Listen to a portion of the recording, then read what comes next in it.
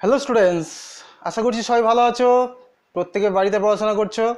এখন দেখো, করোনার জেরে তো বাইরে যাওয়া যাবে না, স্কুলে যাওয়া যাবে না, স্কুল বন্ধ এবং এটা অনেক দিন ধরে বন্ধ থাকবে। সুতরাং তোমাদের বাড়ি থেকে পড়াশোনা করতে হবে। এখন এই বাড়িতে পড়াশোনার সঙ্গে দেখো, পশ্চিমবঙ্গ মধ্যশিক্ষা পর্ষদ থেকে যে অনলাইন ক্লাস শুরু হয়েছে ক্লাস টেন এবং টুয়েলভের জন্য, সেই সঙ্গে প্রতিটা ক্লাসের জন্য কিন্তু তোমার অ্যাক্টিভিটি টাস্ক দিয়েছে। সেই অ্যাক্টিভিটি টাস্কগুলো তোমাদের আমি সলিউশন করে দেব প্রত্যেকটা ক্লাস ধরে এবং প্রত্যেকটা সাবজেক্ট ধরে। আজকের প্রথম দেখো দশম শ্রেণির আহ, ভৌত বিজ্ঞানের অ্যাক্টিভিটি টাস্কগুলো সলিউশন করব। ঠিক আছে?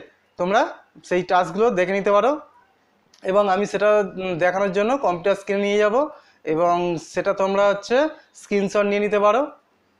আর একটা রিকোয়েস্ট যদি ভিডিওটা ভালো লাগে অবশ্যই একটা লাইক করে দিও এবং চ্যানেলটিকে সাবস্ক্রাইব করে নিও। ঠিক আছে? আর বলব যে এখন কেউ বাইরে বেরোবে না, প্রত্যেকে বাড়িতে থেকো এবং অনলাইন বিভিন্ন পড়াশোনা করার চেষ্টা করো। ঠিক আছে? তা চলো, আমি কম্পিউটার স্ক্রিনে নিয়ে যাই উত্তরগুলো দেখার জন্য। West Bengal board of secondary education থেকে মডেল যে অ্যাক্টিভিটি টাস্ক দিয়েছে, দেখো, আজকের ভৌত বিজ্ঞানের দশম শ্রেণির আলোচনা করব। প্রশ্নগুলো প্রথমে বলবে এবং তার উত্তরগুলো দিয়ে দেবো। এগুলো বিদ্যালয় খুললেই শিক্ষকদের কাছে জমা দিতে হবে। ঠিক আছে? প্রশ্নগুলো আমি পরপর বলছি, দেখো মাত্রীয় বিশ্লেষণ থেকে আর একক কী হওয়া উচিত নির্ণয় করো। এসটিভিতে একশো বারো এম আয়তনের ভর হচ্ছে zero point two two gram হলে নমুনাতে কটা অণু আছে, মোলার ভর কত?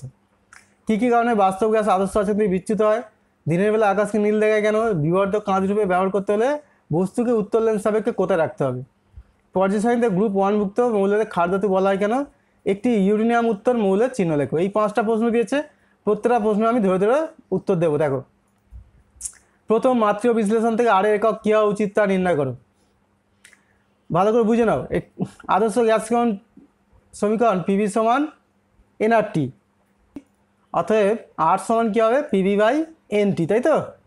এখান থেকে, অতএব দেখো আর সমান আমরা কী লিখতে পারো? পি মানে কি চাপ, আর ভি হলো আয়তন, আর নিচে এন হচ্ছে মোল মোল, আর টি হচ্ছে পরম উষ্ণতা। ঠিক আছে? বাংলা লিখে নিলাম। এবার দেখো চাপ সমান আমরা কি জানি? বল বাই ক্ষেত্রবল ইন্টু আয়তন তাহলে? নিচে হচ্ছে যেমন রয়েছে মোল ইন্টু পরম উষ্ণতা। ঠিক আছে? তাহলে চাপের যা কী লিখলাম? বল বাই বল বাই ক্ষেত্রবল এবার দেখো, আমরা ক্ষেত্রবল সমান কী লিখতে পারি? দৈর্ঘ্য স্কোয়ার আর আয়তন সমান দৈর্ঘ্যের কিউব ঠিক আছে? নিচে হচ্ছে মোল আর পরম উষ্ণতা কেলভিন। সুতরাং, এবার দেখো, এই দৈর্ঘ্য স্কোয়ার আর দৈর্ঘ্যের কিউব কেটে গেলে কী হবে? দৈর্ঘ্য স্কোয়ার দৈর্ঘ্য কিউব বাদ দিয়ে দিলে ওপরে একটা দৈর্ঘ্য থাকবে।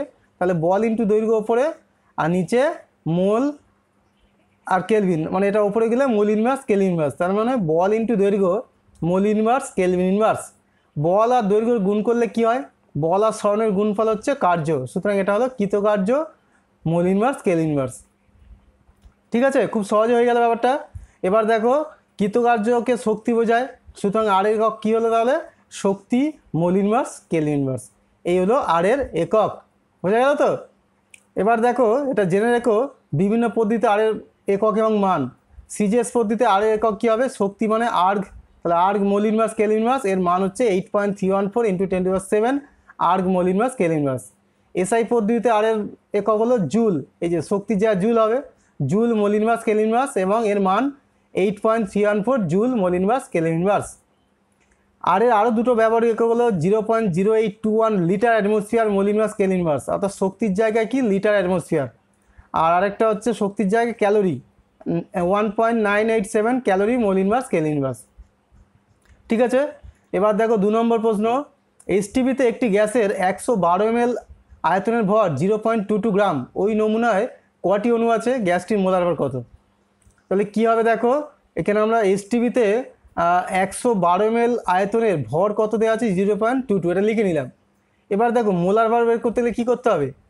এসটিভিতে বাইশ পয়েন্ট চার লিটার অর্থাৎ বাইশ হাজার চারশো এমএলের যে ভর, সেটাই হচ্ছে মোলার ভর সুতরাং এসটিভিতে বাইশ হাজার চারশো এমএল আয়তনের ভর কত হবে? উপরে zero point two two into বাইশ হাজার চারশো আর নিচে একশো বারো।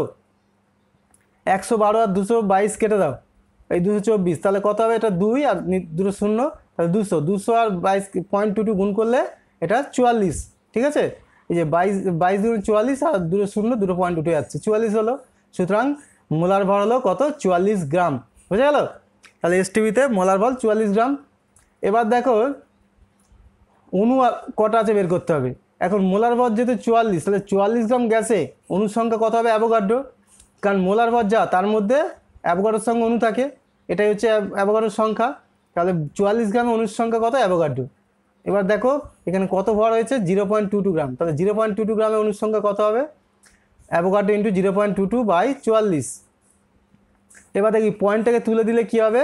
নিচে শূন্য, ওয়ান শূন্য শূন্য মানে পয়েন্টের পর দুটো তো? তাহলে ওয়ান জিরো জিরো, একশো আসবে। এবার কাটাকুটি দাও, বাইশ আর চুয়াল্লিশকে কেটে দাও। তাহলে চুয়াল্লিশকে কাটলে কত? দুই। দুই আর হচ্ছে এটাকে কেটে দাও, তাহলে কত হবে? Three point zero one one তাহলে three point zero one one আর এই একশোটা এই টেন টু তেইশ থেকে দুটো বাদ চলে যাবে। কারণ নিচে একশো আছে তো? টেন টু টু তাহলে এখান থেকে বাদ গেলে টেন টু টোয়েন্টি ওয়ান সমান three point zero one one into ten to twenty one ঠিক আছে? অতএব ওই নমুনায় three point zero one one into ten to twenty ওয়ানটি অনু আছে। বোঝা গেল নিশ্চয়ই? খুব ইম্পর্ট্যান্ট একটা প্রবলেম এবার দেখো তিন নম্বর প্রশ্ন, প্রধানত কী কী কারণে বাস্তব গ্যাসগুলি আদর্শ আচরণ থেকে বিচ্যুত হয়? বাস্তব গ্যাসের আদর্শ আচরণ থেকে বিচ্যুতির কারণ কি? এক নম্বর দেখো, আদর্শ গ্যাস অণুগুলিকে বিন্দুরূপে কল্পনা করা হয়। তাই আদর্শ গ্যাসের অণুগুলির আয়তনকে নগণ্য ধরা হয়।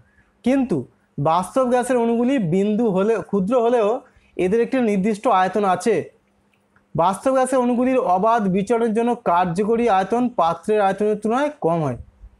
ঠিক আছে? তাহলে বাস্তব গ্যাসগুলোর হচ্ছে আয়তনটা কমে যাচ্ছে। কিন্তু আদর্শ গ্যাসের যেহেতু বিন্দু, তাই আদর্শ গ্যাসের পাত্রের আয়তনটা পুরোটাই আদর্শ গ্যাসের আয়তন।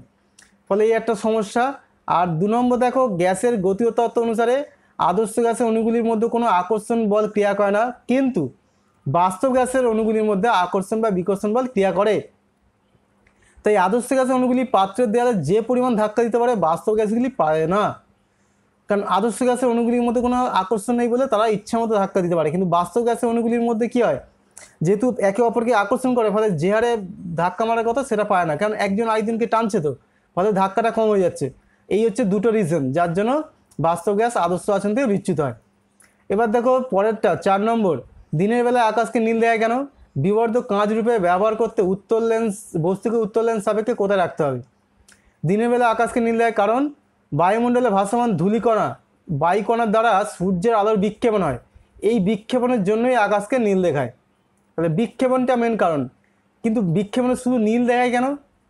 যেহেতু বিক্ষিপ্ত আলোর তীব্রতা, আলোর তরঙ্গ দৈর্ঘ্যের চতুর্থ ঘাতের ব্যস্তানুপাতিক।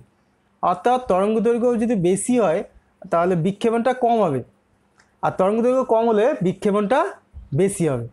এবার দেখো, সূর্যের বেগুনি আর নীল আলোর তরঙ্গ বর্ণের আলো রশ্মি, লাল বর্ণের রশ্মিগুলি অপেক্ষা বেশি বিক্ষিপ্ত হয়। ঠিক আছে? তাহলে নীল আর হচ্ছে বেগুনি, এই দুটোর এদের হচ্ছে তরঙ্গ দৈর্ঘ্য কম হয়, যার জন্য এদের বিক্ষেপণটা বেশি। আর লালের তরঙ্গ দৈর্ঘ্য বেশি, তাই বিক্ষেপণটা কম। আমাদের চোখ বেগুনি অপেক্ষা নীল বর্ণের আলোর প্রতি বেশি সংবেদনশীল। তাই আমরা আকাশকে নীল দেখি। বেগুনি আর নীল দুটোই বিক্ষিপ্ত হয় বেশি, কিন্তু নীলটা আমাদের চোখে বেশি সংবেদনশীল, তাই নীলটা আমরা দেখতে পাই। ঠিক আছে? এবার দেখো দু নম্বর, বিবর্ধক কাঁচ রূপে ব্যবহার করতে বস্তুকে উত্তর লেন্সের আলোক কেন্দ্র এবং মুখ্য প্রকাশের মধ্যে রাখতে হবে। অর্থাৎ ফোকাস দূরত্বের মধ্যে রাখতে হবে। তবেই কিন্তু সেটা বিবর্ধক কাঁচ রূপে ব্যবহার হবে। এবার দেখো পাঁচ নম্বর এবং শেষ প্রশ্ন। পর্যায়সারণীতে গ্রুপ ওয়ানভুক্ত মৌলদের ক্ষার ধাতু বলা হয় কেন? একটি ইউরেনিয়াম উত্তর মৌলের চিহ্ন লেখো। পরিস্থিতিতে গ্রুপ ওয়ানভুক্ত মৌলদের ক্ষার ধাতু বলা হয়। কারণটি কি? এরা অক্সিজেন এবং জলের সঙ্গে বিক্রিয়া করে যথাক্রমে যেসব অক্সাইড এবং হাইড্রোক্সাইড উৎপন্ন করে, তারা হচ্ছে তীব্র ক্ষারীয় ধর্ম রয়েছে। যেমন দেখো, ক্ষার ধাতু সোডিয়াম অক্সিজেনের সঙ্গে বিক্রিয়া করে সোডিয়াম মনোক্সাইড তৈরি করছে। এটা তীব্র ক্ষারীয় অক্সাইড। আবার এই সোডিয়াম অক্সাইড আবার কি? জলের সঙ্গে বিক্রিয়া করে সোডিয়াম হাইড্রোক্সাইড ক্ষার তৈরি করছে। তীব্র ক্ষার। এটা সোডিয়াম হাইড্রোক্সাইড, এটাও তীব্র ক্ষার। সুতরাং তাই এদেরকে বলা হয় ক্ষার ধাতু। এবার দেখো একটা ইউরেনিয়াম উত্তর মৌলের চিহ্ন হলো এন, এনপি। এটা হচ্ছে নেপচুনিয়াম, এনপি। ঠিক আছে? ঠিক আছে? যদি ভিডিওটা ভালো লাগে অবশ্যই তোমরা একটু লাইক করো শেয়ার করো বন্ধুদের সঙ্গে এবং চ্যানেলটিকে সাবস্ক্রাইব করে নিও।